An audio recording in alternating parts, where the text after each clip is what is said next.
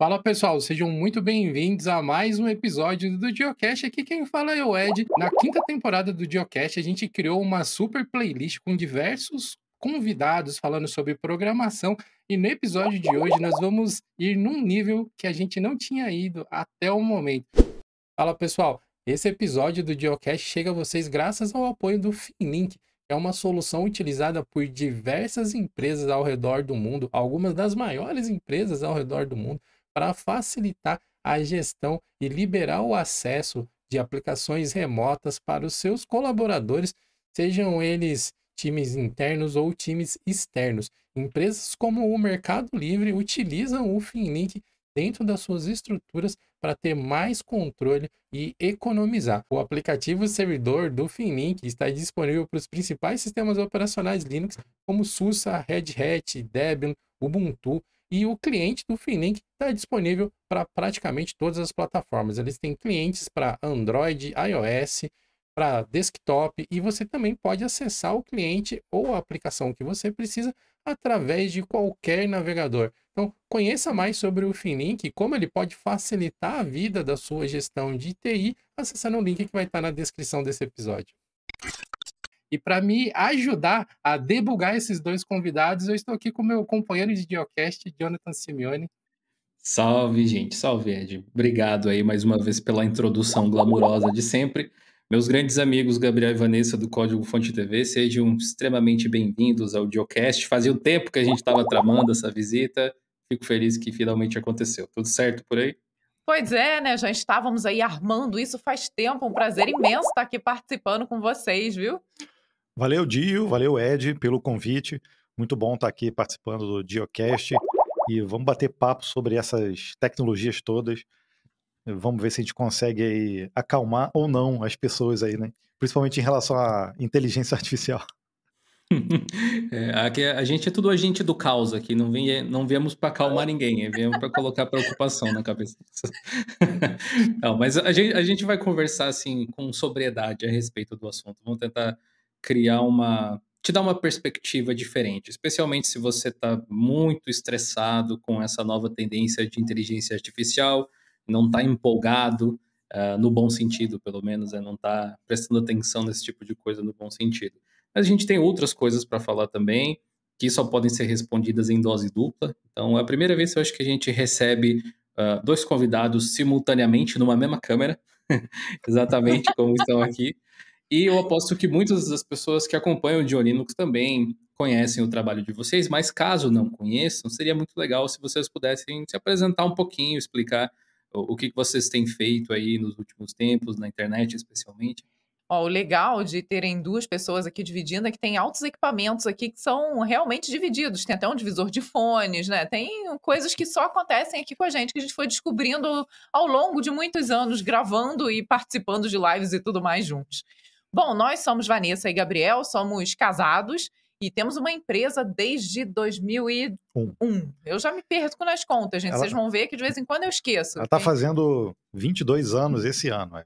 Então, eu e Gabriel, nós nos tornamos sócios antes de nos casarmos. E nós trabalhamos com tecnologia desde então. Na verdade, nos conhecemos no ensino médio, fazendo a formação de técnico de informática. E a partir dali começamos no segundo ano a namorar e desde então estamos juntos, partilhando desde ter, termos tirado carteira de motorista juntos, fizemos então o um ensino médio, fizemos faculdade, fizemos uma pós-graduação, um MBA. Fizemos juntos, filhos. Fizemos filhos juntos, então são muitas coisas juntas, além da câmera que nós dividimos. E o canal também, né? Sim. Mas o código-fonte ele não começou no canal, né? Ele era um site antes, ele era outra coisa e se transformou nisso. Como é que é essa história? É, a Vanessa é a empresária do casal, então ela que sempre foi é, atrás dos clientes e eu ia também atendia outros clientes.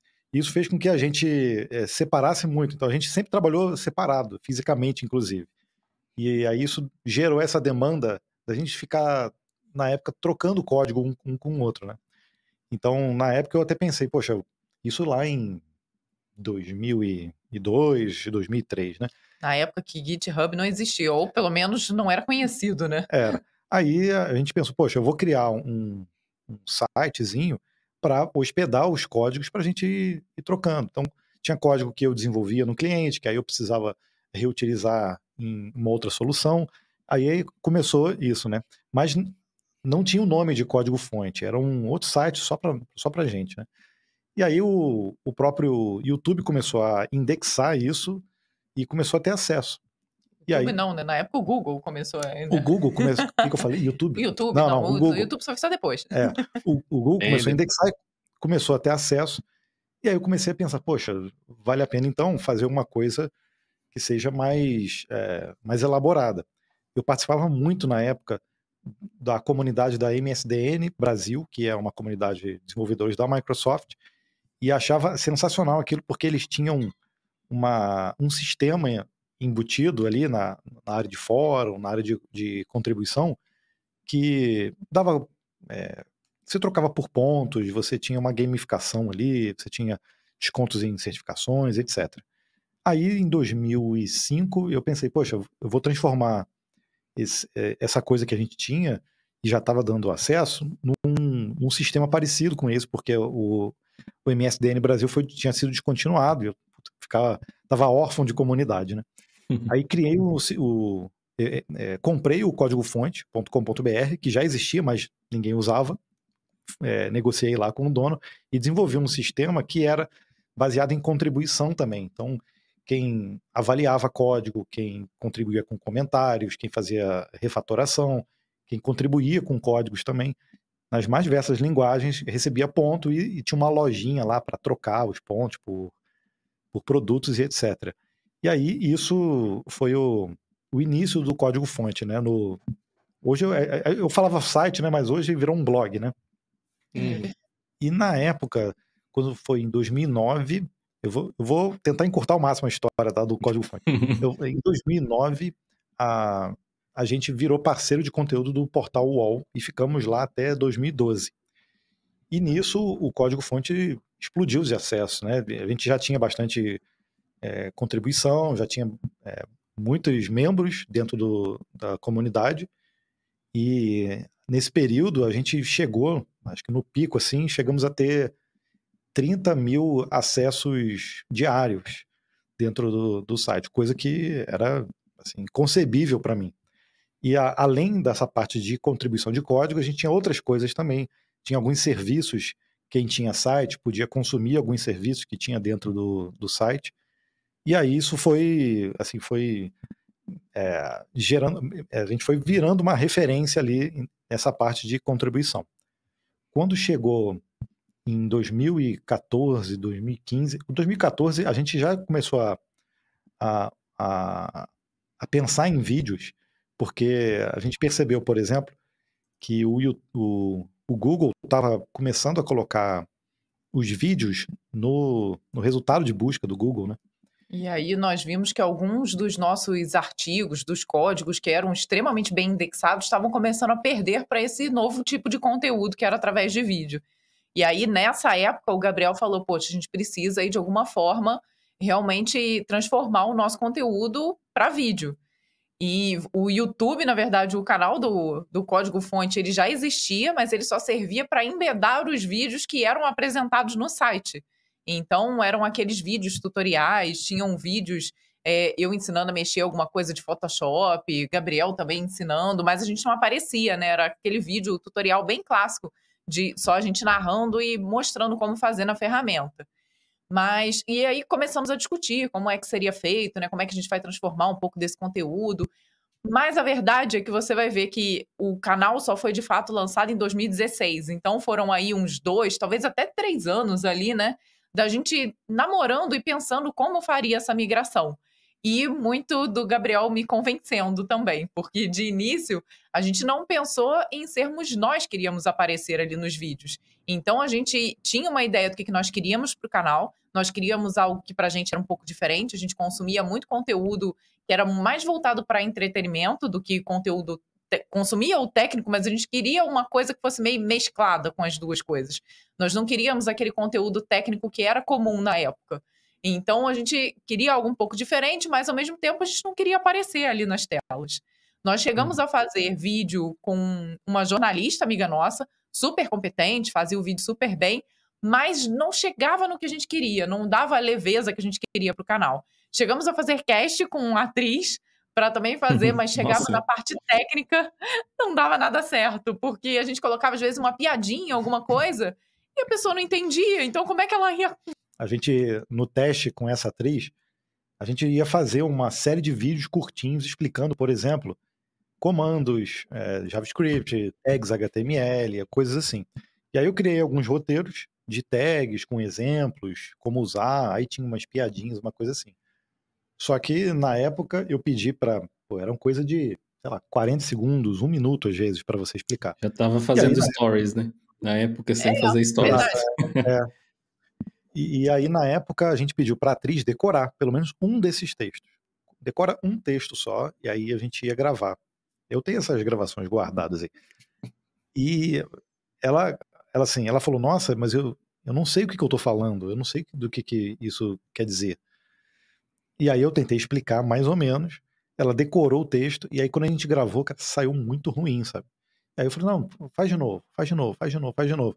E aí eu percebi que, assim, cara, se, se para cada tag eu levar meia hora, igual eu tô levando, fica inviável da gente Impossível. gravar vídeo. Isso porque eram tags, né? Que é algo que é o mais básico aí da área da programação. Imagina quando a gente começasse realmente a entrar num assunto um pouco mais cascudo. É, é. Seria realmente difícil.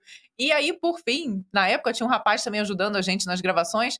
E ele um dia virou até e falou: gente, o que vocês estão querendo são vocês dois. É isso que precisa, porque vocês que vão ter essa leveza e vocês que sabem o que vocês estão falando. Então as piadas saem naturalmente, não fica algo forçado. Não é algo que está ali, às vezes, no script. É algo que realmente vocês sabem, porque vocês dominam o conteúdo. E aí nós ficamos com aquela pulga atrás da orelha e o Gabriel foi me convencendo ao longo de vários meses para realmente testarmos, até que eu tomei coragem e falei: tá bom, vamos testar, Gabriel. e aí fizemos as primeiras gravações, que começaram ainda em 2015, e, e nós tínhamos alguns vídeos ali é, já gravados e prontos para que a gente começasse as postagens em janeiro de 2016. Que foi exatamente quando eu descobri que, que eu estava grávida do segundo filho. Então imagina só. É, a loucura, foi tudo junto. Assim. Mas vocês lembram qual foi o primeiro vídeo que vocês podem pensar? Esse aqui deu muito certo, esse aqui aumentou a nossa exposição, esse aqui fez a, sei lá, a comunidade conhecer um pouco mais da gente. Pergunta difícil de são tantos vídeos, eu não sei em que momento deu o estalo, assim, né? É, o, o nosso crescimento, acho que desde hoje, ele é todo orgânico. E o que a gente percebe é que a gente vai crescendo, não, não tem aquela explosão, mas tem o, o crescimento contínuo. Então, não sei, não consigo lembrar do, do vídeo que talvez tenha dado esse, esse boom. É, teve vídeo meu, na época que a Vanessa estava grávida, é, logo, gente... é, logo depois que, que nasceu o Felipe, né, o nosso filho mais não, novinho. É, para não parar o canal, eu comecei a gravar no carro. É, o indo para cliente.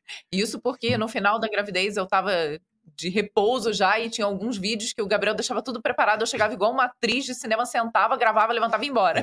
É. mas eu lembro que um desses vídeos que eu gravei no carro passou na TV, na, na TV Record. Mas não, mas não foi ali que bombou, não. É, mas não. Foi, eu lembro Era sobre desse... o que esse aí que passou na Record? Foi sobre trabalho, é, idade, né? Se para começar a programar tinha que ser novinho ou você pode começar já com uma certa idade, né?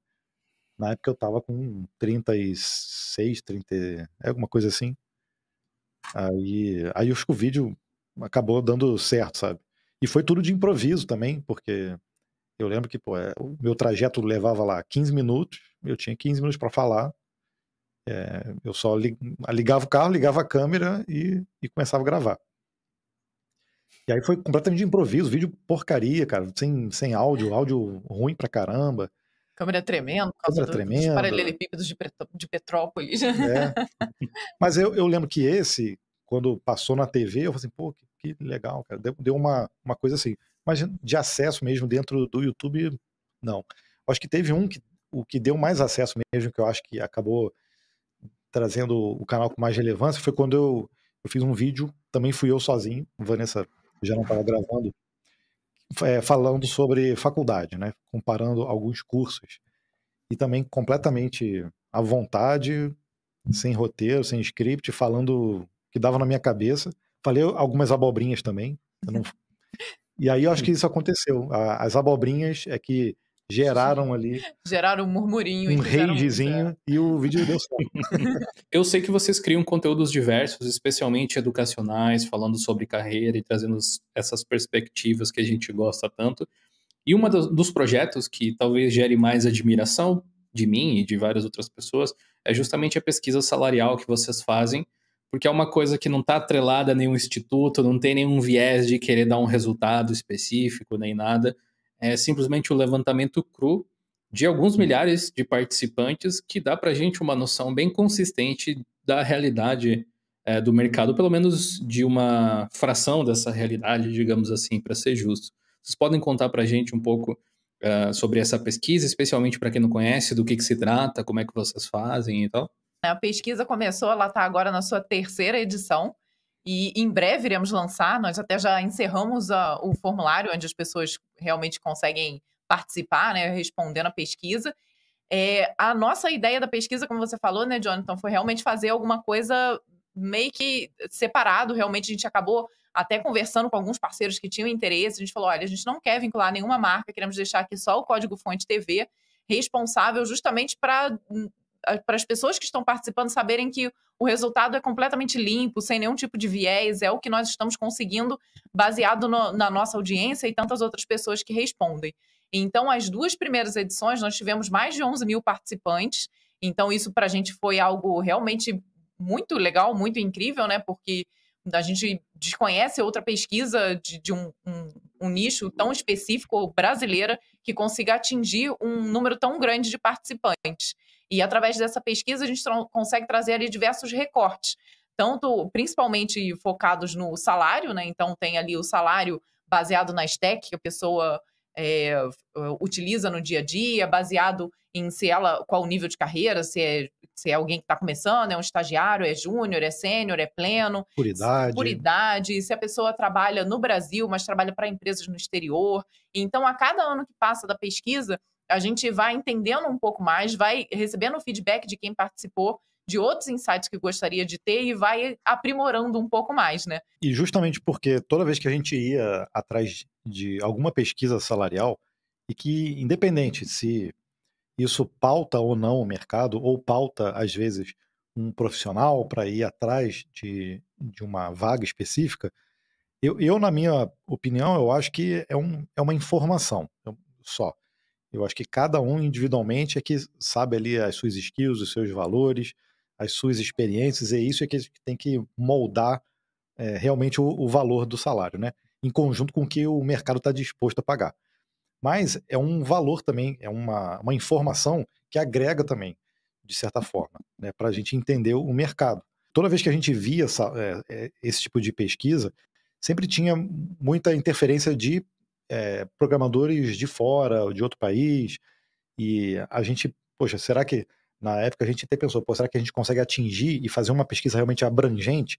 E, e pesquisando é, na internet, a gente não encontra é, um, uma pesquisa voltada para o público brasileiro e que tenha um, uma quantidade tão grande assim, e insights também tão grandes assim, né? Então, na, nessa terceira pesquisa, eu a gente está gravando aqui, eu fechei hoje de manhã, inclusive, o formulário de resposta, já está fechado as participações. A gente adicionou outras perguntas também muito relacionadas ao que a gente está vivenciando hoje no mercado. Então, a gente está vendo, por exemplo, layoffs acontecendo. A gente quer entender, por exemplo, se o trabalho remoto é, do ano passado ele está diminuindo e o presencial está aumentando. Qual vai ser a, a tendência daqui para frente desse, desse modelo de trabalho? Né? Além de outras informações que a gente, todo ano, a gente vai acrescentando por conta do feedback também das pessoas. Então, a gente tem informações, por exemplo, é, se a pessoa trabalha ou não numa startup, e nisso a gente consegue, por exemplo, traçar por nível, por, por faixa salarial, é, se, uma, se as startups geralmente pagam melhores ou pagam piores. E isso tudo para tentar moldar, né, a cada ano, moldar melhor como o mercado está tá se desenhando. Né? E como tem muitas informações já de pesquisas anteriores, a gente consegue fazer um comparativo também sobre, esse, é, sobre o que, que para onde o mercado está indo. E aí, a, nesse ano, a gente já bateu o recorde total já teve, já aumentou mais de 60% o número de, de participantes em relação a, a do, do ano passado. Então. E é quantos participantes informação. que tá, mais ou menos, essa edição de agora? Então, dessa edição já, passou de 17 mil, tá quase, quase chegou a, a 18 mil participantes. Nossa, um e... belo número. E agora a gente abriu, a pessoa consegue dizer em que área ela está trabalhando. Então entra, por exemplo, é, back-end, front-end, mas entra DevOps, entra quem trabalha com segurança da, com informação, segurança da informação, quem é QA, quem é que, o pessoal de, que trabalha com dados. Então a gente conseguiu realmente é, abraçar um número maior ali de profissionais, trazendo em separado também um recorte para cada uma dessas áreas que antes ficavam um pouco mais misturadas e algumas pessoas nem respondiam. Então tivemos pessoas, ah, não, eu trabalho com QA, acho, não, não achei que não fazia sentido eu responder. Então agora a gente realmente conseguiu trazer o, o resultado geral e trazer esse recorte de cada uma das profissões. Né? E na página dá para filtrar, né? você consegue filtrar por área e aí você descobre todos os insights que a gente tem é, separados por área também. E a partir disso a gente também vai, vai tirar muito mais insights também. Depois que o resultado for pro ar, a gente vai poder elaborar insights mais específicos. Então, por exemplo, eu quero saber, sei lá, se quem trabalha com Java e tem inglês fluente tem uma média salarial maior do que quem trabalha com C Sharp e tem inglês fluente. Sei lá, uma coisa assim, entendeu? Uhum. Correlacionar então, os dados. Interessante. É. Eu sei que vocês fazem um vídeo, né, contando sobre a pesquisa e trazendo os insights que vocês tiraram, alguns deles e tal, sempre que ela sai já tem previsão para quando esse, esse próximo deve sair. E quem quiser ver as anteriores ou simplesmente se engajar com a pesquisa quando tiver novamente, aonde que pode ir, tem um endereço, uma URL que o pessoal pode acessar? Sim, o endereço é pesquisa.códigofonte.com.br. Então lá você consegue, quando a pesquisa está ativa, responder e também consegue visualizar as informações das, das outras edições e da edição atual que nós pretendemos lançar na próxima semana, na próxima né? Semana. Estamos aqui então, dia seria no 25 de abril de maio, né? gravando, né? então na próxima semana. É, no início de maio, logo. A nossa expectativa é, é, lançar, é isso. Tem algum insight interessante que vocês podem compartilhar para dar uma amostra aí do, do que vocês coletaram nesse ano? Diferentemente do que muitas pessoas percebem pelas notícias, os salários de forma geral continuam aumentando. E um outro spoiler também interessante. Nós perguntamos, por exemplo, se a pessoa tinha sido demitida é, nos últimos 12 meses, para entender esse movimento de layoff né, que está acontecendo, principalmente lá fora, mas aqui também, né, para as uhum. empresas também. E aí envolve é, aspectos econômicos, macroeconômicos e, e, né, e várias outros, outro, outras coisas. É, a, a gente, por exemplo, tem a informação de que praticamente 90% ainda estão. Se é, manteve. se mantiveram. Então, isso é uma informação também que é, é relevante também para a gente entender se é um movimento que está aumentando ou está diminuindo, né? A, a, a, tendência é que isso, pelo menos é o que a gente tem visto, por exemplo, lá fora, que às vezes reflete aqui, né? Em, em muitos casos, é que continue essa, essa movimentação de, de congelamentos de contratação, é, demissões é, em algumas empresas, mas congelamento de contratação até o ano de 2024 e depois, dependendo de como tiver aí economicamente, os investimentos voltam, né? É, uhum. E pode ser que isso é, demore para acontecer um pouco daqui, aqui às vezes demora um pouco mais para a gente perceber isso, mas a gente não não, não viu, por exemplo, é, e essa informação como se fosse, poxa, sei lá, tá todo mundo sendo demitido, sabe? Que é, é uma, uma falsa impressão que se passa por conta das notícias, que eu acho que tem que noticiar mesmo, mas não reflete exatamente o mercado, né? É, a gente acaba tendo que.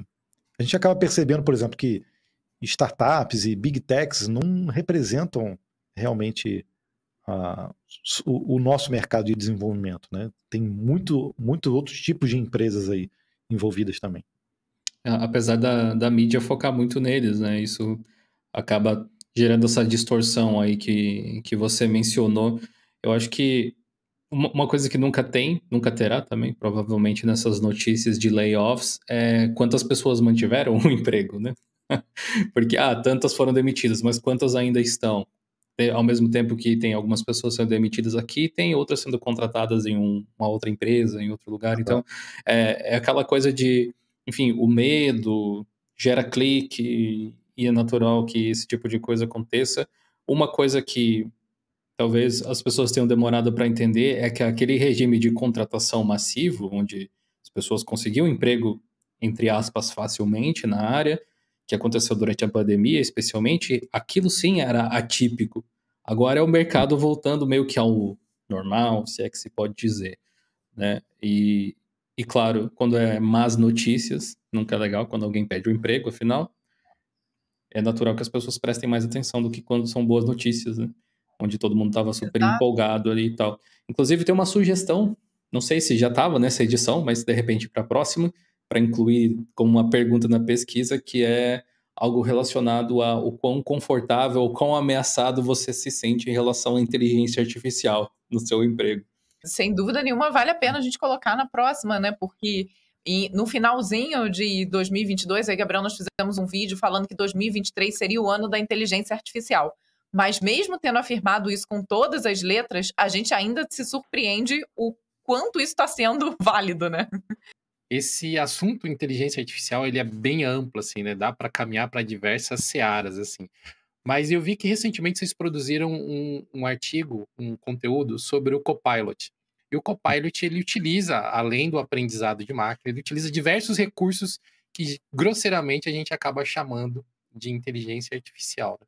Então, talvez fechando um pouco mais o escopo na, no Copilot, nesse conteúdo que vocês fizeram agora, como que vocês têm visto a inteligência artificial impactando no dia a dia de vocês como programadores? Tipo, ela está facilitando ou ela está só ali assoviando no seu cangote uhum. aqui, sabe? Vou te pegar, vou te pegar. Olha, é o que a gente vê na histeria das pessoas é esse no cangote, vou te pegar, vou te pegar. E tudo bem, não é completamente sem sentido esse medo, né? Porque ela vem ali trazendo umas facilidades que você olha e que realmente, num primeiro momento, você fica assustado. Então, o que nós vemos aqui do nosso lado é que, de fato, você trabalhar com GitHub Copilot, ele te dá uma produtividade. Ele realmente te ajuda em tarefas que são repetitivas, ele consegue te dar uma sugestão de código que está muito alinhado com o que você está desenvolvendo, então ele consegue entender o que, que você está fazendo e te sugerir coisas que, que estão dentro do contexto. Mas ainda assim, é uma ferramenta de produtividade. A gente já tentou aqui, até brincando, para tentar trazer um conteúdo para o canal, de desenvolver uma aplicação do zero a partir do chat GPT, fugindo um pouquinho aí da ferramenta, mas indo para que é tão chamada impossível. Gabriel, que teve essa árdua missão, ele ficou assim a manhã inteira e por fim ele falou: Nossa, se, se dependesse disso para fazer algo tão simples, nós estávamos fritos.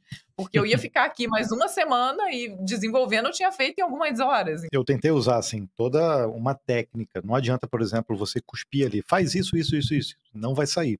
E, e mesmo que saia alguma coisa, você vai ficar tentando conversar com, com o chat para tentar refatorar aquilo, chega uma hora que fala assim, putz, vou excluir essa mensagem, vou criar outra, porque ele já não está entendendo o que eu estou falando, não está conseguindo, já não está contextualizando mais. E então você tem que meio que aquecer ali, tipo assim, é, como por exemplo, ah, olha, é, vamos supor que você seja um, geralmente eu faço assim, vamos supor que você seja um desenvolvedor especialista em, sei lá, em React Next.js você consegue me ajudar a, a, criar uma aplicação do zero? Aí ele responde, não, com certeza. Bah, claro. Ele, ele sempre pode tudo, né? Ele é muito é, confiante. É, prepotente, né? É. Narcisista, né? Aí, é, aí, eu pergun aí eu pergunto, poxa, olha, a minha ideia é desenvolver uma aplicação que faça isso, isso, isso, isso. Aí eu, eu até falo assim, eu posso passar para você todos uh, os, os requisitos que eu quero e eu preciso que seja criado do zero. Ok, ok, ok, ok. Aí você passa os requisitos. E aí ele vai criando. E aí, poxa, você vai é, percebendo, por exemplo, um erro ali, um outro erro aqui. Então aquele fluxo de informação ele já começa a se expandir. Você não consegue fazer o fluxo descer. Aí você assim, poxa, ó, aqui tem um item aqui que ele não está exatamente como eu, como eu pedi. Então, para assim, olha, no item 2 ou no item 3, vamos refazer aqui, porque o código não é, não é exatamente esse, eu preciso que isso faça isso. E aí você começa a criar ramificação na, na sua conversa e fica difícil de você desenvolver a, a, solução completa. Você tem que colocar a mão no código, traz isso para teu para a tua ideia, você desenvolve, depois você tem que passar para ele de volta. Olha, eu fiz a refatoração aqui, olha aqui, esse é como ficou o código desse arquivo, ok? Ok, beleza. E aí, cara, depois de, sei lá, umas 100 mensagens, às vezes você pede para ele, poxa, é, troca o nome daquela função lá que a gente fez no arquivo tal. Ele já não sabe mais qual é o nome da função, ele não sabe mais qual é o nome do arquivo. Já... Então, tem um, um, limite aí também. Isso, inclusive, até no GPT-4, tá? que, que tem uma quantidade maior de, de contextos e, e de tokens né, que ele aceita. É, essas limitações também eu vi. Então, na minha visão, é uma ferramenta de produtividade incrível, mas que para coisas complexas assim, quando você começa a estender demais as informações que você precisa, é, fica complexo de manter. E aí, às vezes, para você ganhar produtividade, você tem que esquecer aquilo, usa aquele, aquele snippet lá de código, aquele esqueleto que se criou, e aí você vai desenvolver do, do teu jeito e se você quiser depois a assistência dele, você meio que volta ali, cria um outro chat, Mas, talvez em pontos mais específicos, né? É, esse vídeo que você falou é de provavelmente foi o que a gente falou do GitHub Copilot X, que tá para ser liberado para todos aí. E é impressionante algumas das ferramentas que ele traz ali. Então, por exemplo, tem ferramenta de criação de, de testes unitários. Então, você é, mostra ali o seu código e ele identifica, ah, olha, esse código aqui está sem teste, vamos criar um teste? Vamos. Então ele cria o teste baseado no código que está ali. É claro que se aquele código não estiver bem escrito, o teste vai sair errado. Então, né, tem essas duas vertentes. Mas, ao mesmo tempo, se você tiver um código bom, você tem um teste de forma automática ali, né? É, sem precisar, de fato, codificar, codificar o teste. Então, é muito interessante tem ferramentas que você consegue trocar de linguagem. Então, ah, tá bom, eu tenho aqui em, em Python, agora eu quero que você transforme tudo isso aqui para JavaScript. E ele consegue fazer essa tradução. Claro que a qualidade provavelmente não vai ser 100%, vai precisar de algum ajuste, mas com certeza ajuda muito isso, né?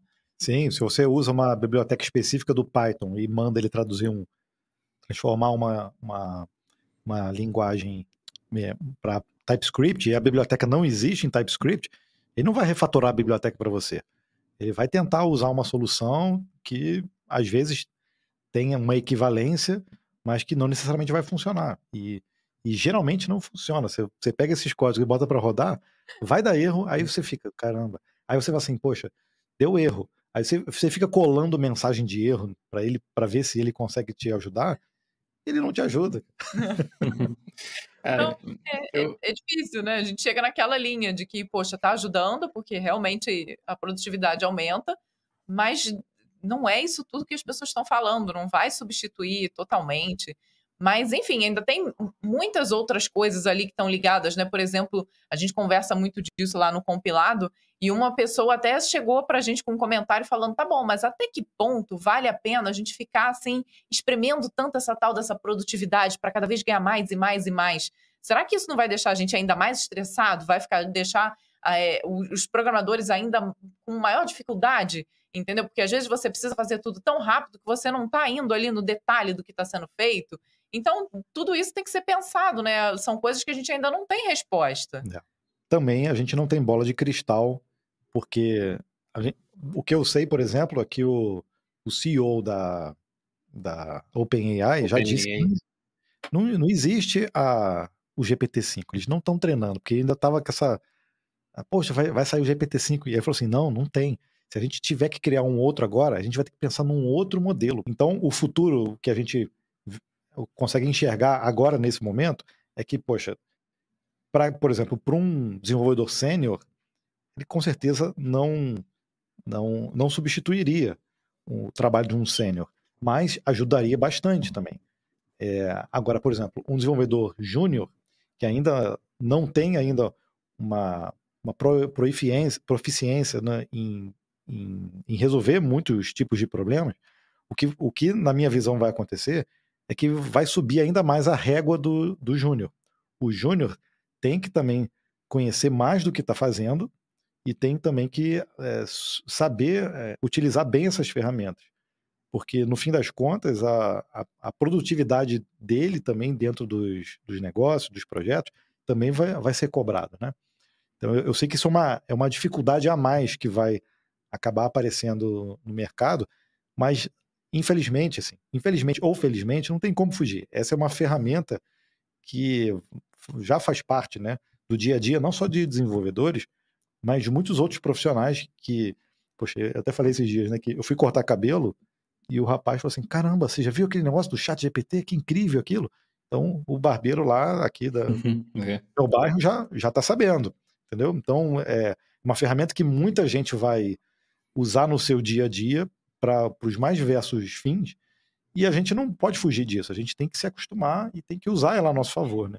Tem que saber utilizar, né? E a gente até fala muitas vezes aqui que para quem está começando no desenvolvimento, pode até ser ruim, né? Porque às vezes você tem, tá ali no seu editor de código, está fazendo alguma coisa e ele te sugere algo que está muito dentro do contexto. Então, para você saber que aquilo dali está errado, é mais difícil. Até o próprio Stack Overflow estava comentando e chegou a bloquear as respostas vindas do chat GPT por conta disso. Ele falou as respostas são muito similares ao que seria correto, mas são erradas. Então tem esse, esse limite ali do, do que ele está de fato entregando para quem está consumindo.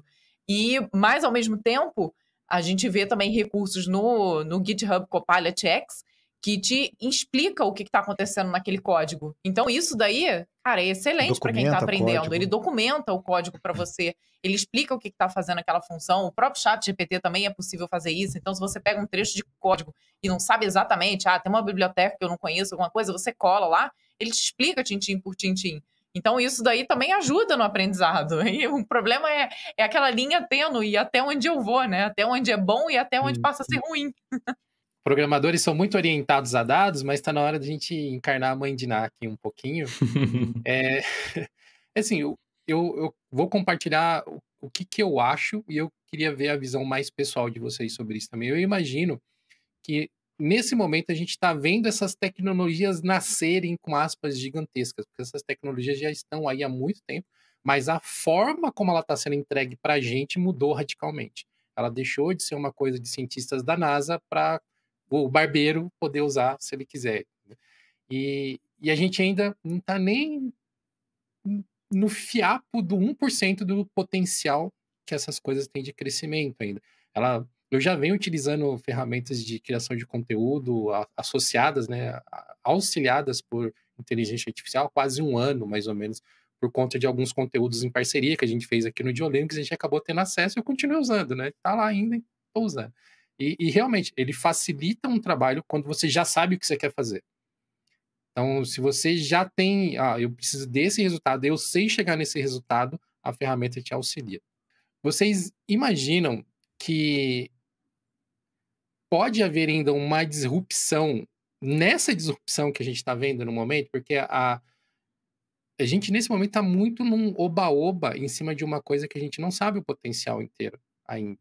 Vocês imaginam, sei lá, por tanta coisa que vocês já mexeram, que vocês já estudaram, já tentaram usar no dia a dia, algum, vocês já viram algum indício ou, ou tem alguma ideia de o que, que poderia ser uma disrupção nisso de verdade? Tipo, tá, agora a inteligência artificial quebrou a banca, assim, sabe? Pô, pô, agora ficou difícil. Ou agora ficou bom pra caramba, assim. É, é. Não, eu acho que se a gente tem que puxar, puxar a bola de cristal, a gente tem que falar de humanidade, né? Tem que ser um pouco mais abrangente. Olha, é, cara, é muito difícil, né? Talvez você falou, a gente é, é mais técnico aqui, vai voltado mais para os dados.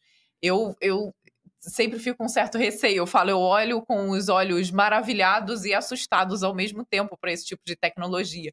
Porque elas por mais que eu saiba o que está ali por trás, né? Ah, não, são dados treinados, faz todo sentido, ele está usando a lógica para chegar a todo aquele resultado, mas ainda assim é um pouco assustador. E eu fico assustada quando eu vejo pessoas que, para mim, estão ali num nível tipo o Elon Musk, o Sundar Pichai, e eles falando disso. Não, olha, eu tenho certo receio. O Sundar Pichai, numa declaração dele, falou que eles não sabem exatamente o que está acontecendo em, em, todos os lugares da inteligência artificial que está sendo criada, entendeu? Tem no algumas Google, é. caixas é. pretas. É. Então, poxa, se ele está falando isso. não, isso ele é falou, porque... isso ele falou é, por conta de, da inteligência artificial do Google, que é o, o Bard, que estava sendo que, que não foi treinado em uma determinada língua e aí fizeram uhum. uma requisição numa língua e ele respondeu na língua. E aí eles foram ver por que, que ele conseguiu responder Como, né? nessa língua. Se não não estava treinado para isso. E aí eles viram que tinha lá no modelo deles que o ele, ele acabou indo é, se treinar e acabou indo é, conhecendo a, essa língua diferente. E aí eh, ele disse isso, ah, isso aqui pra gente é um, uma caixa preta, a gente não sabe exatamente por que, que eles estavam fazendo isso. Eu falei assim, pô, se o cara tá falando que existe uma caixa preta... É, aí realmente, para mim, abre aquela loucura de eu imaginar eu o robô lá na frente, que é sempre que me vem à mente de acontecendo algo do estilo, né? Eu gosto eu de imaginar esse, esses cenários assim, e, especialmente pensando de uma forma um pouco mais abrangente, mas mais na relação de como a gente reage em relação a isso. Porque o, o primeiro é quase que um instinto, assim. Quando a gente vê algo que a gente sente que é nosso, ou algo seguro, ameaçado, a gente tenta. A gente é meio que automaticamente repudia sem raciocinar muito a respeito daquilo, sabe? Por exemplo, se tem um programador, de repente, que está se sentindo ameaçado de alguma forma pela inteligência artificial, as pessoas de fora podem dizer: olha, talvez seja porque você não está preparado o suficiente ainda, talvez seja porque você não é uma pessoa eficiente dentro do mercado, talvez seja por N motivos, mas para aquela pessoa só significa que estou perdendo o meu emprego. E ela vai se sentir, uh, automaticamente, ela vai meio que se colocar uh, contra isso, né? Mas eu sempre fiz uma reflexão pensando na inteligência artificial como uma auxiliar, uma ferramenta, muito como o Copilot que vocês exemplificaram.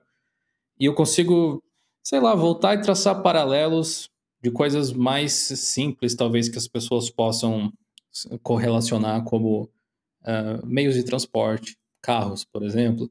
Você voltar lá para o final de 1800, 1900, onde andar de, de repente de charrete na rua ainda era uma coisa, e aí tipo, você tinha um cocheiro que transportava as coisas numa carrocinha com seus cavalos e tal.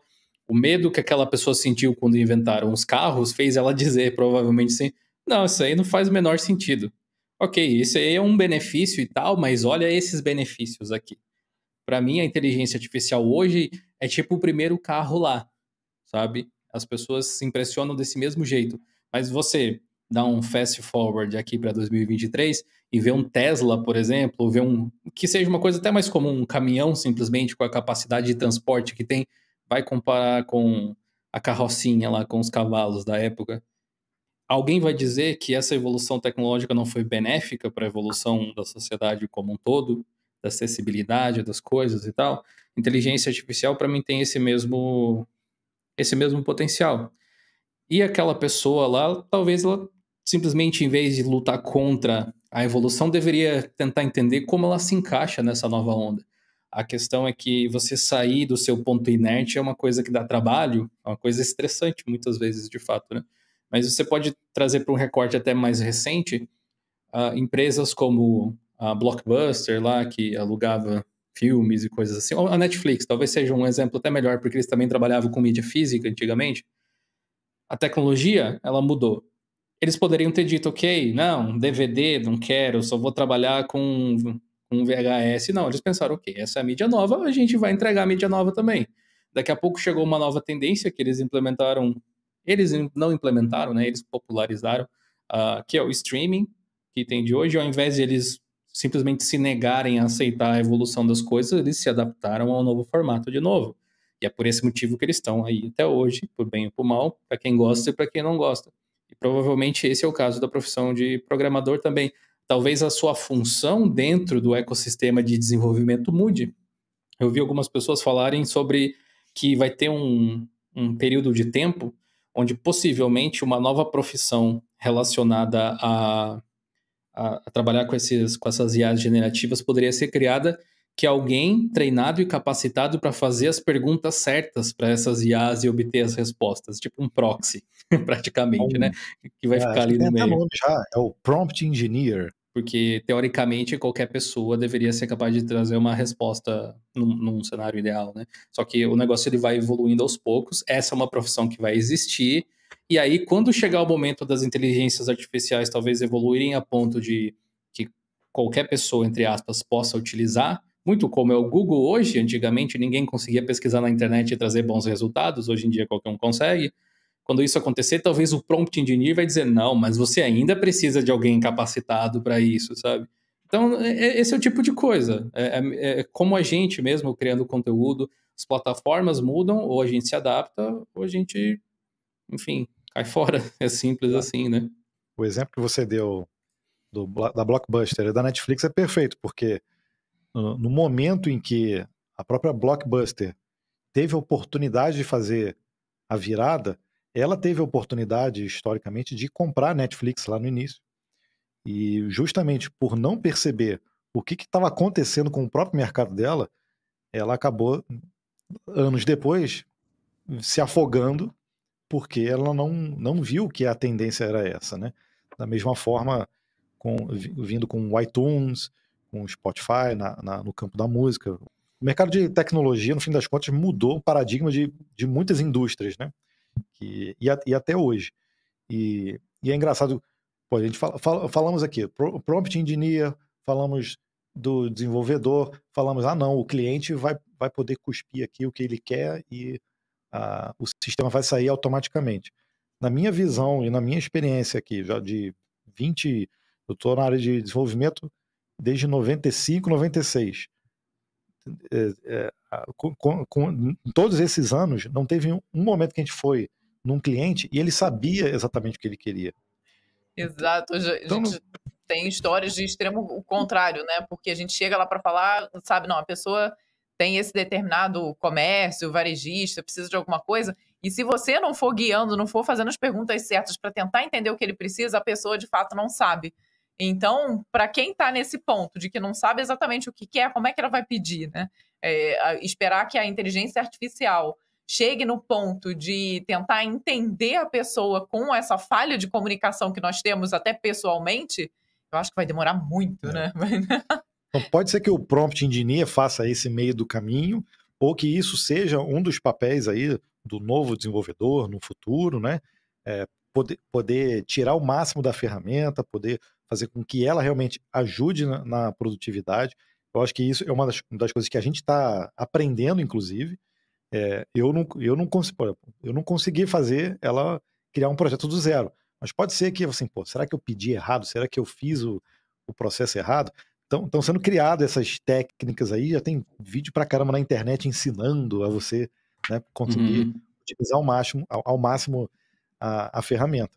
E isso tudo é um processo. Se isso é, é uma coisa que vai fazer parte do nosso dia a dia, a gente tem que aprender ao máximo, a tirar o máximo daquela ferramenta, seja no GitHub Copilot, no GPT-4, no ChatGPT e outras que vão surgir com certeza, né?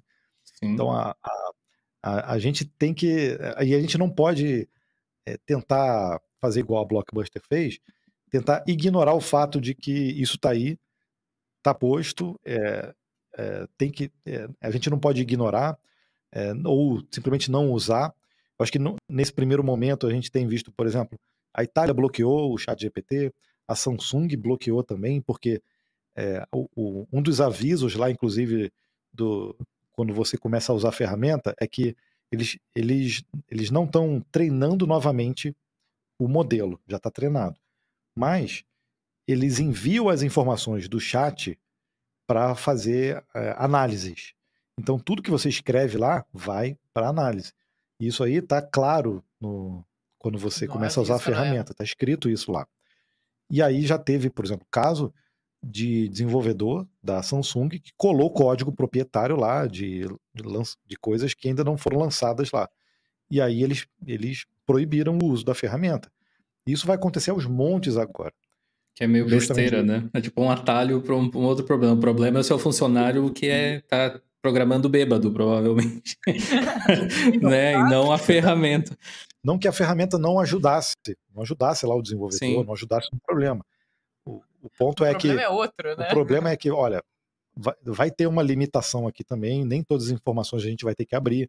E aí a própria Samsung tá para. É, eles, eles começaram uma iniciativa de criar a própria ferramenta também.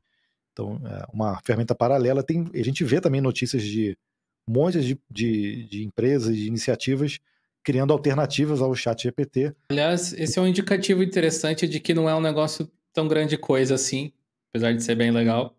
Que é, se todo mundo pode fazer o seu, é sinal de que não é um negócio especial assim, né? O CEO da OpenAI já falou isso, né? De que ele ficou até surpreso com o, o quanto repercutiu o chat GPT. A OpenAI acho que não esperava esse sucesso do, do chat GPT, porque eles sabem que existem outras iniciativas em outras empresas, no, na Meta, no Google, é, mas que não estava aberto, assim, não no modelo que foi, foi criado, né? Uhum.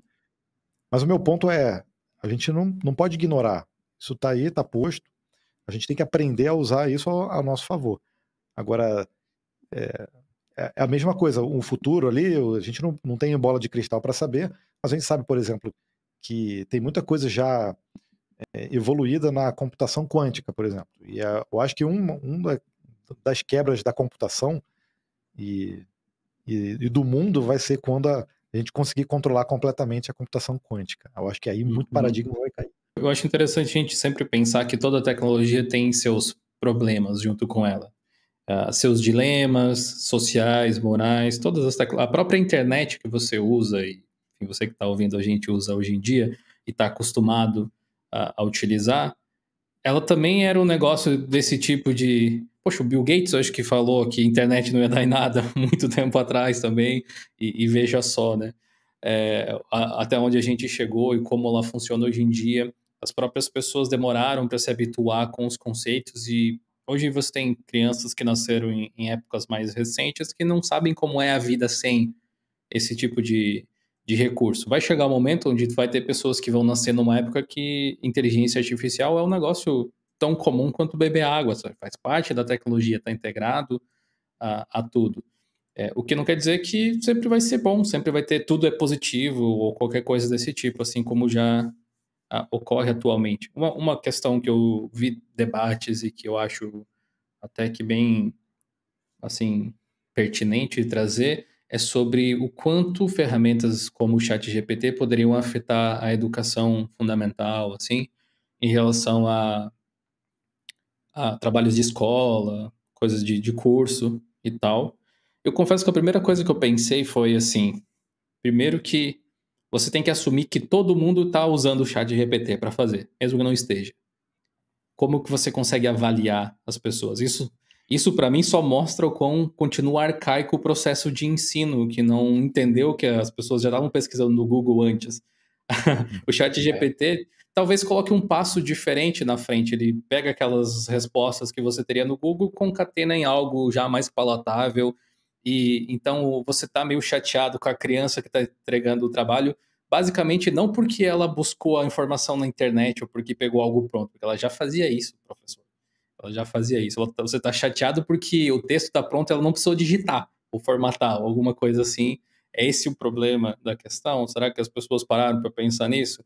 como que vocês veem essa situação, especialmente porque vocês já têm dois filhos, um mais velho aí e tal, indo para a faculdade daqui a pouco também, e, e um mais, uh, mais jovem que está nesse processo aí de desenvolvimento agora. Como que vocês acham que ferramentas como o chat GPT podem influenciar a educação deles? A gente tem discutido muito, eu e Gabriel, aqui com relação a isso, e principalmente o quanto talvez o, a, a chegada da internet mudou muito o, o, como nós fazíamos antigamente e como os nossos filhos fazem hoje. Então, eu, poxa, eu sou da década de 80. Então, criança, quando eu precisava fazer um trabalho, ou eu ia na biblioteca do colégio, ou eu pegava uma enciclopédia, ou eu ia na biblioteca da cidade, juntava com as crianças, escrevia. Então, era árduo você aprender alguma coisa. Você tinha um trabalho danado para, de fato, fazer o trabalho. Fazia os trabalhos na mão, fazia capinha. É, capinha. É, a gente ia na papelaria, comprava as letrinhas, lembra? Régua de letrinha para fazer, hum, coloridinho, cada uma delas. É. Então, assim, isso dava um trabalho, mas automaticamente justamente por você passar por todo esse processo, que era meio doloroso, você aprendia muito mais do que simplesmente hoje dar um Google ou um chat GPT e chegar ali com aquele conteúdo que você passa o olho. Mas o fato é que as informações estão aí, estão disponíveis. Então, como a humanidade está lidando com isso, é que realmente é um, é um paradigma diferente. Então, o que a gente percebe hoje é que as pessoas estão mais preguiçosas, a mente da gente ficou mais preguiçosa Você, como você sabe que tem como consultar tudo aqui na palma da mão, você não precisa decorar as coisas. Você não precisa se lembrar de tudo que aconteceu. Você precisa lembrar, às vezes, ali de um ponto-chave para poder ir lá e buscar o restante. Então, tudo isso acabou ficando muito imediatista. Né? E, ao mesmo tempo, a gente é bombardeado de informações o tempo inteiro. E o cérebro, eu acho que não, não consegue lidar muito com, com essa com é, esse tipo de informação, com essa quantidade de informação, né? A gente é como se a gente estivesse enchendo a memória, mas a gente não processa né, as informações. E é, eu, eu, inclusive, estou terminando um livro aí chamado The Shallows, que fala muito sobre isso. Como a, a internet, é um livro de 2011, como a internet está afetando o nosso cérebro. O livro foi atualizado agora, em 2020, se eu não me engano. Tem capítulos aí já falando sobre redes sociais e tudo. Mas tem trechos assim que. E, e tem um aspecto tam, também é, fisiológico, mas também psicológico na, na, e no comportamento, né, que tem tudo a ver com o comportamento que a gente está vendo hoje da sociedade, né? E que é justamente quando você tem um excesso de informação, a gente não para para refletir, a gente, fica, a gente fica é, menos reflexivo e mais é, a, gente, a gente age mais impulsivamente. O que me preocupa também, que é nítido, né? Você vê, antigamente você lia um livro. Aí começaram a vir, sei lá, filmes, séries, você assistia aquilo dali. Depois vieram o YouTube. Então, o YouTube ali você pega, às vezes, alguém resume a história da Segunda Guerra toda em uma hora ali, numa série super legal, super interessante de você assistir. Mas agora vieram os rios, então você quer consumir um conteúdo em 15 segundos. E aí, como é que vai ser? Você não consegue ser tão profundo quando você era no livro lá de 200, 300 páginas em 15 segundos de conteúdo. Então, acho que esse é o problema. Vão ser os 15 segundos que vão te dar o, a, a chave para você buscar mais, ou você vai estar satisfeito com aqueles 15 segundos de então, informação? Né? É exatamente por isso que o livro se chama The Shallow. É tudo superfície. superfície. tudo ninguém, superficial. Né? Ninguém se aprofunda. Todo mundo fica superficial, em, em, com muita informação, tudo superficial. E, e, na nossa vida é importante a gente é, ter um. A gente, é, de alguma forma, se aprofundar em algo que a gente gosta, pode ser para trabalho ou não, pode ser até para lazer mesmo, mas se aprofundar em algo e a fundo num conhecimento, porque isso é, faz com que a gente se autodiscipline, faz com que a gente aprenda a, a, a entender o, como é o processo de você estudar, e isso é, é extremamente importante para a gente, né? Do, do, ponto de vista psicológico, motivacional e, e etc. Então, a, a não, eu, eu, não digo que é, ah, então a sociedade está perdida, não. Mas eu acho que a gente, em algum momento, a gente está num momento de transição que a gente não está percebendo exatamente o que está acontecendo, né? Ah, muita, muita coisa se fala também sobre esse é, excesso, esse hiperestímulo de dopamina, né? Que é você se, se é, retribuir a todo tempo, é, sem realmente passar por por, por um esforço que você precisa fazer para atingir um determinado resultado.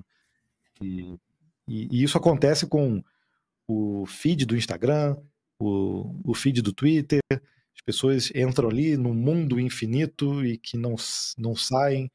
E, é, e isso aí também faz, de alguma forma, mal psicológica para mim. Psicologicamente faz mal para gente, né? Eu tenho um filho em idade escolar também, né? ele está no sexto ano agora. E eu observo muito que os professores com quais eles mais, ele mais consegue se conectar são os professores que conseguem se conectar melhor com esse mundo que ele vive de tecnologia. Então, nitidamente conversando com os professores, você vê aquele professor que já é de algumas gerações mais antigas, que fala assim: ah, esse negócio de tecnologia não é comigo. O meu filho tem mais dificuldade em lidar, porque ele nasceu na tecnologia, então o que vinha antes, o que existia antes para ele é, um, é, uma incógnita. Ele sabe de ouvir o velho pai dele falar. É a realidade deles. E é a realidade que eles vão ter no mercado de trabalho quando eles estiverem lá na frente. Então não adianta a gente querer falar que não, não pode aprender com a tecnologia, não, não pode assistir o YouTube, não pode isso, não pode aquilo. É, eles vão ter tudo isso disponível o tempo todo para eles, senão o YouTube é outra plataforma que vai aparecer né, no decorrer dos anos. Mas retirar a tecnologia, acho que não é a solução, né? Talvez entender como que esse, esse mecanismo pode ser usado como uma ferramenta para potencializar o aprendizado, tornar e dar um foco para isso, ao invés de deixar ó, as crianças correndo que nem o urso do pica-pau, né, pegando perguntas e jogando respostas, pegando perguntas e jogando respostas, ensiná-las formas de criar um fluxo, criar um, um meio de aprendizado com ferramentas novas. Se eu pudesse, digamos, dar um palpite, sugerir como que faria, como que a avaliação dos alunos deveria ser feita mediante a chat GPT e Google e coisa que tem hoje em dia, é na realidade voltar para um conceito que, pelo menos para mim, na minha própria educação, meio que passou batido, que foi a gente sempre valorizou muito essa coisa de você ser capaz de dar uma resposta correta de cabeça. Matemática, português, história, qualquer coisa. Na realidade, você não está uh, ah, analisando se a pessoa aprendeu, você está analisando se ela consegue lembrar, memorizar alguma coisa. É uma, uma skill que é, às vezes se confunde, mas ela é um pouco diferente. Então, hoje, com o chat GPT, você não pode analisar a capacidade da pessoa ir para casa, pesquisar um negócio e te trazer uma resposta.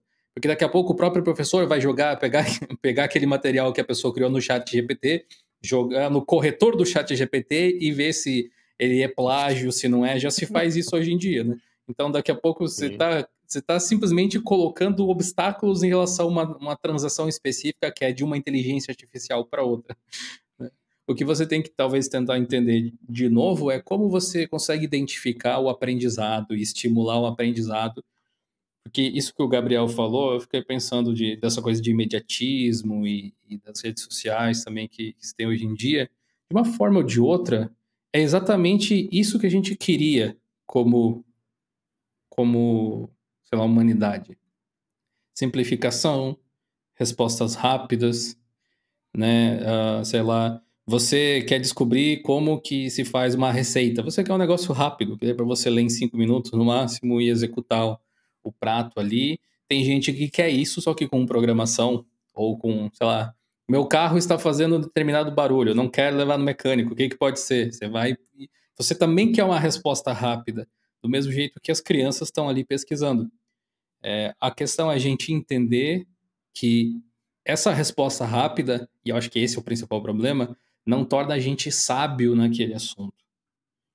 Tipo, você conseguir executar uma receita que você achou na internet em cinco minutos não te transforma num chefe de cozinha, sabe? É talvez essa noção que ainda esteja faltando para a galera que está utilizando é, esse tipo de coisa, inteligência artificial o... e tal, para estudo.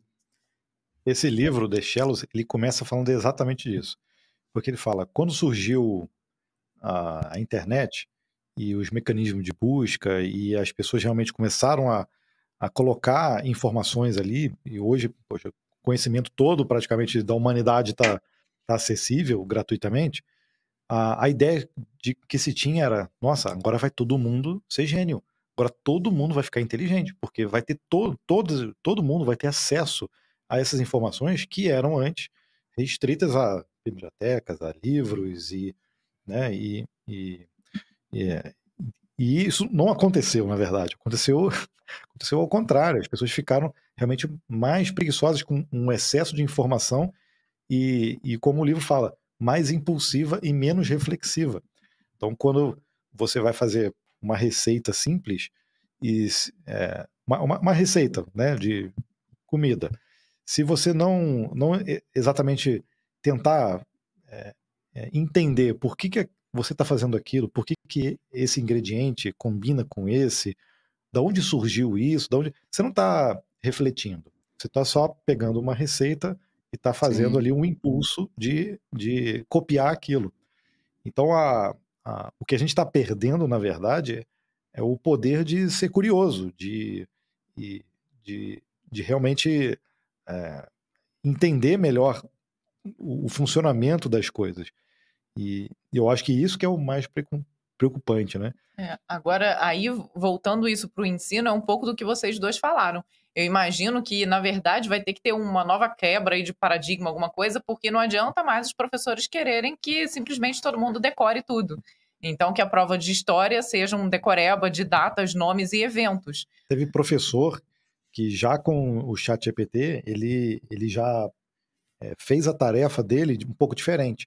Ele pediu, na verdade, para os alunos irem é, para o chat GPT e, e pedirem para ele escrever sobre um determinado tema e eles iam refletir sobre o que foi escrito dentro da sala de aula Exato, olha. e fazendo com que eu, É melhor. eles reescrevessem aquilo que estava escrito. Olha, olha a diferença, né? Que é, É. justamente você pensar sobre aquilo que você recebeu, sobre aquele conteúdo que você recebeu.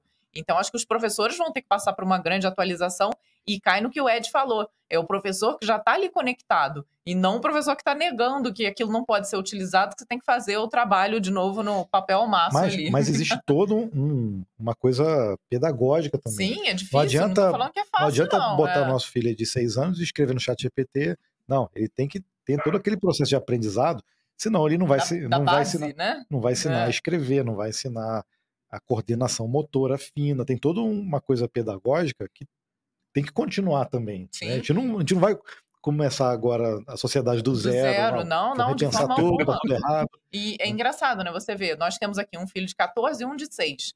O de 6, ele tá aprendendo a ler, né? Tá se alfabetizando e joga os joguinhos. Mesmo quando ele não sabia ler absolutamente nada, ele jogava, entendeu? Então é tão intuitivo que você vê, a leitura acaba. Claro que para alguns jogos vai ser preciso, mas para outros mais simples, não precisava nem a leitura, ele conseguia jogar dessa forma. Então, é, é essa Ele sabe que o mudança. xizinho é para É, fechar. que o xizinho é para cancelar, que o cheque é porque deu certo, né? é. Então, eh, a pessoa já tem ali um visual apelativo nos games ou em diversas outras coisas, nos aplicativos que a gente utiliza, que mesmo sem saber ler é possível utilizar. Então, ótimo, legal, mas não é por aí, né? Precisa também ter essa base mínima aí para conseguir utilizar as ferramentas. É, visto que a- o conhecimento se tornou tão acessível do ponto de vista de você conseguir pesquisar por qualquer coisa que seja do seu interesse, eu acho que essa coisa que a gente discutiu antes sobre a, a informação ela tá fácil, a pergunta tá fácil, você obter a resposta e não realmente processar aquilo, ao mesmo tempo que pode ser problemático se a sua intenção é ser mais profundo, né? Em em contrapartida é o, o livro do, do Gabriel que ele estava mencionando, ela também pode ser especificamente o que você queria, sem se importar, no sentido de que aquele exemplo da receita que a gente tinha dado, de repente, a- o fato da pessoa ter pesquisado aquela receita de cinco minutos para fazer agora aqui rapidão e não processou por que, que eu estou misturando esse ingrediente com outro, simplesmente está substituindo não o fato dela estudar isso, ela está substituindo o fato dela pedir a comida pronta. Só. Porque não é como se ela, ao invés de fazer aquilo, ela fosse estudar e entender por que, que ela está combinando aquilo. Talvez alguém que queira se aprofundar nesse segmento vá fazer justamente esse tipo de coisa, sabe? Talvez vocês já tenham até passado isso com os filhos ou, ou com a própria audiência do canal, com o pessoal que acompanha, que é gente querendo uma solução rápida para um problema bem definido. Deve surgir muito, né? Perguntas assim bem diretas que o correto é responder, mano, depende do contexto, depende do que, que você quer fazer, depende disso, depende daquilo. E nem sempre as pessoas estão querendo ponderar, estão querendo pensar. Pensar dá trabalho, pensar leva tempo, aquele tipo de coisa assim. E por muitas vezes a resposta simples, sem esse questionamento, é o suficiente para passar por aquela ocasião. Mas aí eu acho que separa, na verdade, não uma questão de certo e errado, separa por personalidade mesmo. Eu gosto de saber como certas coisas funcionam. Então, eu não vou me contentar com uma resposta rasa, assim. Ao mesmo tempo que talvez para outras coisas eu me contente com respostas rasas, eu nem me dê conta.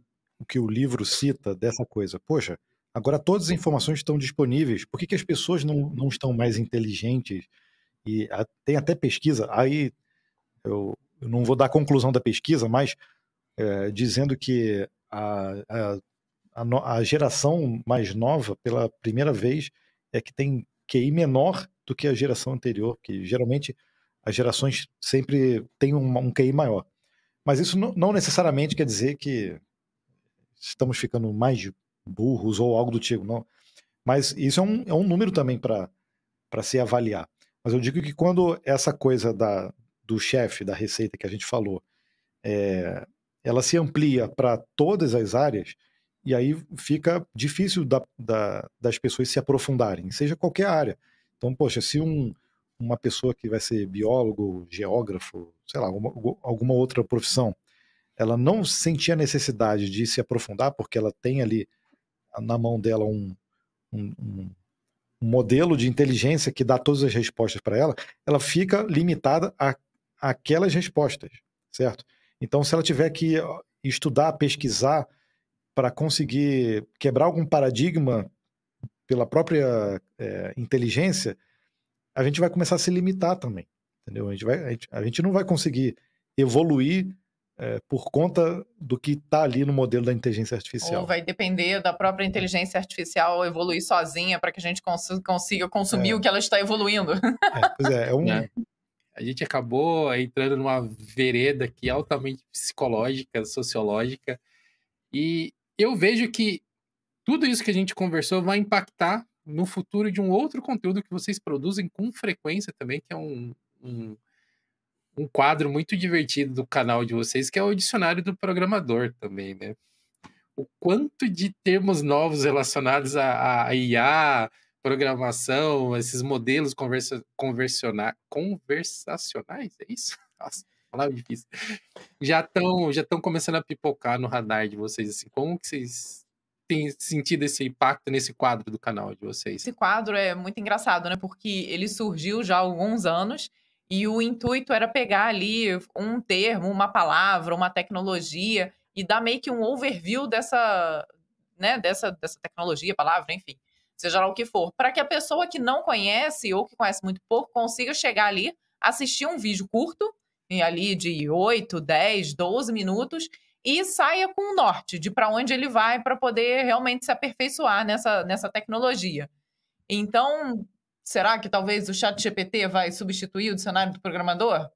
Não sei, espero que não. Vai influenciar o consumo, acho que de todo mundo, não só do dicionário ou de, de outros produtores de conteúdo, né? Tem muita gente que já utiliza. A gente, por exemplo, para produzir para o dicionário programador, a gente pesquisa bastante também. É, não está tudo na nossa cabeça. A gente tem bastante livros aqui, a gente consulta bastante na internet e o Chat GPT, por poder cons conseguir condensar também muitos dos assuntos, a gente também utiliza é, para a criação do conteúdo. Então, a, a, é uma ferramenta do dia a dia e com certeza influencia na nossa produção de conteúdo e, e, e a gente é, vai adicionar também nesse quadro é, muitos dos temas que estão surgindo agora. Então, daqui a Exato. pouco a gente vai falar aí de prompt engineer. Tem um parceiro nosso que apoiou durante muito tempo o dicionário do programador e quando chegou, sei lá, no trigésimo, quadragésimo episódio, ele perguntou, mas ainda tem tema para abordar? Eu falei, é infinito. é essa sensação que eu tenho agora. Cada vez, quanto mais tempo passa, mais surgem coisas para serem abordadas ali dentro do dicionário. Você já tem algum episódio do dicionário do programador focado em inteligência artificial? Você já tem algo assim indo só nessa temática? Tem o de inteligência artificial, tem o de deep learning. Lançamos é, recentemente o machine learning. É, dessas ferramentas novas, ainda não. A é, gente, uhum. com certeza, a gente vai criar para falar do GPT-4. Uma curiosidade que eu também sempre falo, porque as pessoas falam, ah, dicionário, é aqueles dois lá de jaleco branco, não sei o quê. E o Ed, eu acho que vai lembrar, a referência do dicionário programador para a gente é o mundo de Bickman. Eu era viciado em assistir isso quando era, eu também. era mais novo. E ele usava o jaleco verde, os cabelos. Eu vi as reprises. É. e tinha os, os, os dois Sim. pinguinzinhos no final conversando, né? Sim. Mas tinha e um muita caneta no bolso, é. por isso que eu botei é. bastante caneta no bolso. Olha, e até, né, um, um, bastidor aqui do dicionário, quando nós pensamos em fazer, e por isso o jaleco e tudo mais, a nossa ideia era de fato fazermos os personagens. Então seriam meio que dois cientistas loucos fazendo, apresentando ali o conteúdo. Mas aí eu e Gabriel descobrimos que, enquanto desenvolvedor, enquanto atores, nós somos ótimos desenvolvedores e que seria completamente impossível tentar é. atuar de qualquer forma. Então nós desistimos e mantivemos só o Muito bom. Mesmo que o, alguns conteúdos que vocês façam sejam respostas a perguntas ou contextualização de assuntos, tipo explicando um tema, um tópico, algo assim, Uh, eu acho que a existência de um chat GPT ou qualquer coisa do gênero não deve realmente afetar o, a popularidade do conteúdo. Porque se alguém quisesse pesquisar o que é HTML, podia jogar no Google, sabe? E descobrir o que é o HTML e tal. Talvez a única diferença seja uh, que hoje, jogando no Google, talvez apareça o vídeo de vocês com uma das respostas, né? Eu acho que um dos pontos justamente é essa humanização por trás da coisa, não é uma máquina. As pessoas talvez hoje em dia se impressionem, mas daqui a pouco vão começar a se incomodar um pouco e sentir falta do aspecto humano, do, do racional, do sentimental, porque ainda vai muito tempo, imagino, se é que chegue, né? Não dá para dizer que não, mas enfim, uh, dessa, dessa capacidade que as inteligências artificiais poderiam ter, que os humanos têm de condensar não só informação, porque lá são dados, sabe? Toma essas informações aqui para você. O lado humano tem em como esses dados são passados, entonação de voz, como é falado, trazendo todos esses conceitos que são emocionais e essenciais para a comunicação. A gente não pode esquecer do aspecto biológico dos seres que estão pesquisando por esses conteúdos, sabe? Eu acho que isso daí não vai embora tão cedo, se é que vai embora algum dia. É, a gente conversou um dia até, e acho que foi você que falou, né? Assim, daqui a pouco vai ser um diferencial, né? Tipo, tá lá, 100% é, é, feito por humanos. E, em específico, o dicionário, né? Acho que tem muito disso que você falou, Dio. É, é um conteúdo técnico que, sim, é, você consegue encontrar em outro lugar. Mas acho que talvez a forma como eu e Gabriel conseguimos montar esse conteúdo, levando em conta a experiência que nós temos, é o que realmente faz, faz diferença né, no conteúdo que está sendo passado. Mas em cada um deles, baseado em toda a nossa experiência, o nosso know-how, é onde a gente consegue realmente fazer as pesquisas e trazer o que, que tem de mais importante naqueles temas. Então a gente viu aí, depois de muitos anos escrevendo e até buscando outras pessoas para escrever com a gente e tudo mais, o quanto isso é difícil. Então, realmente, uhum. esse, esse fator experiência e e vivência com a tecnologia faz muita diferença na hora de construir o conteúdo. Então, por exemplo, quando a gente tem algum colaborador que escreve para a gente, a gente vê, por exemplo, que, poxa, olha, eu vejo assim, por exemplo, ah, faltou, por exemplo, associar essa tecnologia com um, os primórdios lá atrás, ó, porque isso aqui só surgiu por conta disso.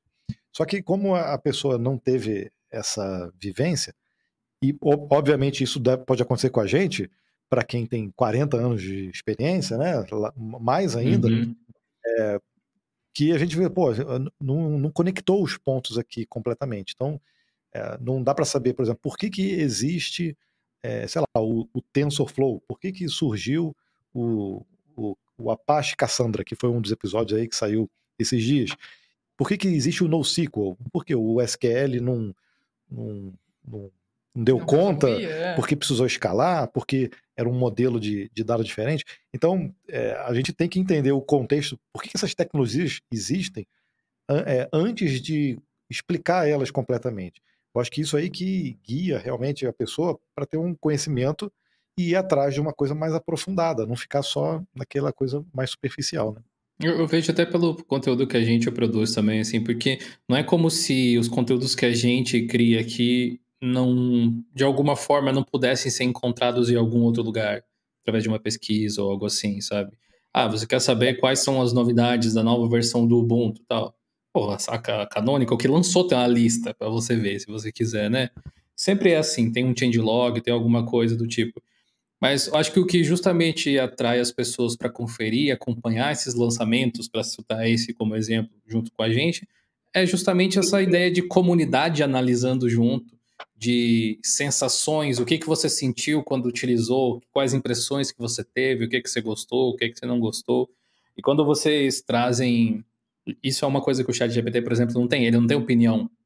Ele não, não tem, tipo, ah, isso eu não gostei. Ele só joga algumas, alguns fatos, teoricamente, assim, e aí cabe a você fazer essa, essa peneira. E eu acho que falta, às vezes, justamente essa. Porque o ser humano não tem como dar um, um, fazer um comentário sem algum tipo de viés, né? É impossível, porque o seu histórico psicológico impõe qualquer tipo de viés, mesmo que você não queira. Mas às vezes é justamente isso que você está buscando. Eu não quero saber qual é o melhor microfone que não sei o que lá para fazer isso. Eu quero saber o que, que os meus amigos, Gabriel e Vanessa, estão utilizando em cima da mesa deles. Porque eles são pessoas legais, eles me ajudaram muito, eles estão sempre dispostos e eles são pessoas críticas para pesquisar, provavelmente a opinião deles vai ser uh, vai contar muito na hora de eu tomar a minha decisão, porque eu já ouvi como é que soa o, o equipamento, eu sei que eles têm essa preocupação, enfim, tem um contexto social que é. inteligência artificial nenhuma replica, sabe? Acho que esse lado da identificação humana é essencial. E, e, talvez esse esteja sendo o maior ponto onde as pessoas estão se confundindo no momento, né? Porque o chat GPT, ele responde como um ser humano, mas ele é uma máquina. Ele tem respostas treinadas para possíveis dezenas, sei lá, milhões de perguntas. Ah, então talvez se eu der essa resposta, soe mais natural para quem está ouvindo. Não é uma resposta natural real, é uma resposta natural treinada. E os criadores de conteúdos, vocês, o Dio, outros grandes criadores de conteúdo, o Akita, por exemplo, que eu sigo pra caramba, o Fábio Akita também, é, todos vocês têm uma personalidade que é, que é muito aplicado no conteúdo. É, é, quase impossível desassociar a personalidade de vocês do conteúdo. Por mais que exista a acuidade técnica que é necessária, a personalidade ela sempre está lá. Né? E isso a gente não, não tem nessas ferramentas, mesmo que as pessoas erroneamente acham que tem. Né? Um, um, um fator, sei lá, talvez seja passando despercebido por algumas pessoas. Sim. O único perigo é se a humanidade evoluir num ponto de que, não, tá bom, só isso mesmo, eu só preciso da máquina, não quero outros seres humanos. o perigo é a máquina achar que não precisa dos seres humanos e dar um jeito, né? Também. O Matrix. Tem uma última coisa que eu gostaria de falar com os meus amigos aqui, que é o nosso, nosso podcast concorrente. Não sei por que, que eu estou fazendo propaganda da concorrência aqui. Eu acho que é porque você pode ouvir os dois, provavelmente. Que é o compilado. Claro. Que é o compilado do Código Fonte TV, um quadro aí de notícias uh, que o Gabriel e a Vanessa fazem, né? Mas acho que eles podem contar melhor pra gente como é que funciona o compilado, é um canal à parte, né? Também do, do Código Fonte. A gente deixa todos os links na descrição para você acessar. Se inscreve por tudo, tá? Segue eles lá porque vale a pena não só pode, como deve assistir e ouvir os dois podcasts, viu? Não tem problema nenhum. O compilado, ele é o nosso filho mais novo aqui do, do Código Fonte e da RW, que é a empresa que está por cima de todos os nossos projetos. Mas a gente também já tem essa coisa de notícias lá atrás também, antes do, do YouTube, do Código Fonte TV. No Código Fonte, a gente chegou a ter na época também uma redação, com uma mini redação com pessoas escrevendo. Então, além de conteúdo técnico, de, de códigos, a gente também chegou muitos anos, até por conta da parceria também com o UOL, escrever notícias também. Uhum, né? Que envolviam ali o mundo da tecnologia. Mas aí decidimos criar o Compilado, que é o nosso podcast que sai todos os sábados às 6 horas da manhã, onde nós trazemos ali um compilado de notícias do mundo da programação e da tecnologia, muita inteligência artificial, querendo ou não, está né? rolando ultimamente Entendi. também. Algumas tretas aí que envolvem as grandes empresas da área de tecnologia, notícias sobre segurança. Então a gente traz tudo isso aí semanalmente para que as pessoas possam se manter informadas de uma forma ali resumida, né? Mas também, Mas também falamos ó, de novidades das linguagens, dos frameworks, como é que eles estão evoluindo, isso aí também tem direto no compilado. Sim, e além disso, aí nós trazemos ali alguns outros quadros, né? Temos um quadro chamado Call Stack, onde a gente traz oportunidades, seja de trabalho ou de aperfeiçoamento profissional. É, temos o Breakpoint, onde a gente conta um, conta um caos nosso, seja da vida pessoal ou profissional. Então, é um momento um pouco mais descontraído, onde, nossa, nós já contamos tantas histórias, né? Teve uma história do Gabriel que foi uma das mais engraçadas, que acho que você contou e chegou até a reprisar, foi. que quando. A eles... empresa me mandou para uma casa de massagem, foi isso? foi isso. Imagina essa situação. O Gabriel conta no compilado, viu? Eu estou rindo, continuo casada com ele, tá, gente? Ele me contou, estava lá na porta, sem saber muito bem o que fazer. Estava sendo eu demitido. Falei, Estava é, sendo demitido e me mandaram para uma casa de massagem. Ok, agora eu vou ser obrigado a ouvir esse episódio. então tem episódios como esses aí, com essas histórias. E é, perdi até o fim da meada. O que mais que a gente faz, Gabriel? Não, a gente, a gente faz sorteio também toda semana. Estamos chegando no episódio, ou quando esse episódio for ao ar, já chegamos no episódio número 100 também. O compilado fez dois anos.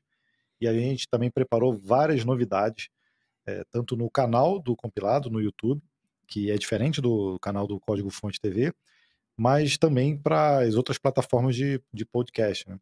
E a gente fica feliz porque, poxa, são dois anos já com o projeto, e no Spotify, por exemplo, já entramos várias vezes naquele ranking de podcasts de tecnologia no Brasil. Já ficamos em, em segundo lugar por várias vezes. Não conseguimos passar o Hipsters. O Hipsters é ó concurso aí na, é. no ranking. É. Mas, mas a, a, gente fica muito feliz porque a gente percebe que o, a gente conseguiu colocar também o nosso conteúdo, a nossa forma de passar conteúdo também nesse tipo de conteúdo que é importante, né? É, ficar por dentro do que está acontecendo, as notícias que acontecem semanalmente, é tão importante também quanto você se atualizar com uma linguagem, com as bibliotecas que estão sendo utilizadas e tudo que a gente também faz dentro lá do código-fonte. Então, como é um, um, um, tipo de vídeo diferente, a gente se diverte também pra caramba, a gente ri pra caramba. Pra cada notícia tem um comentário, e aí a gente fala um monte de abobrinha também. É. Mas é bem legal, né? Porque, querendo ou não, a gente traz ali um pouco da nossa visão, traz a nossa experiência, traz o, o conhecimento que tem até de, de já estar há dois anos aí se mantendo atualizado, né? Pesquisando e falando sobre tudo que está acontecendo no mercado. Então, a cada episódio a gente traz um pouquinho de tudo isso em conjunto, né? Gabriel, Vanessa, é um prazer conhecer vocês, ter recebido vocês aqui no, no Geocast. É, com certeza esse episódio teria o potencial de bater os nossos recordes aqui de tempo, mas eu imagino que vocês têm um monte de outras coisas para fazer, porque afinal de contas vocês não apenas fazem o código-fonte, como vocês compilam. Muito obrigado a todos vocês por todo esse esses anos de conteúdo e de informação que vocês compartilham. Eu já esbarrei no conteúdo de vocês diversas vezes quando eu estava procurando resposta para algumas perguntas. Eu não estou nem perto de ser um programador, mas de vez em quando eu tenho que resolver meus pepinos de marketing, que sempre envolve alguma coisa de programação, e daí algumas vezes vocês já me ajudaram. Então, fica aqui registrado, meu muito obrigado pelo conteúdo de vocês. E, sim, é, a gente já falou de diversos projetos de vocês ao longo do episódio, mas Agora é hora do Jabá Time, assim, é hora de falar o URL certinho, falar o arroba certinho, para o pessoal poder localizar vocês, ainda quem ainda não conhece. Muito obrigada, um prazer imenso aqui participar, né, Dio? A gente sabe que as nossas conversas duram, a gente às vezes faz umas reuniões e fica horas e horas a fio conversando, então realmente se deixar a gente fala Poxa, até amanhã de manhã. A última é reunião assim. acho que foi cinco horas, se for Foi por aí, viu? Só parei porque a criança estava com fome, eu tive que ir lá preparar um lanche. Isso aí, prioridades. Mas olha, um prazer imenso, prioridades. Um prazer imenso mesmo participar. Para quem tiver interesse em conhecer ou continuar acompanhando o nosso trabalho, é, você encontra a gente nas principais redes com o arroba Código Fonte TV, no YouTube, no Código Fonte TV, no compilado do Código Fonte TV também no YouTube e nas principais plataformas de podcast. Exato. É... Spotify, Amazon Music, né? Tá tudo distribuído por ali.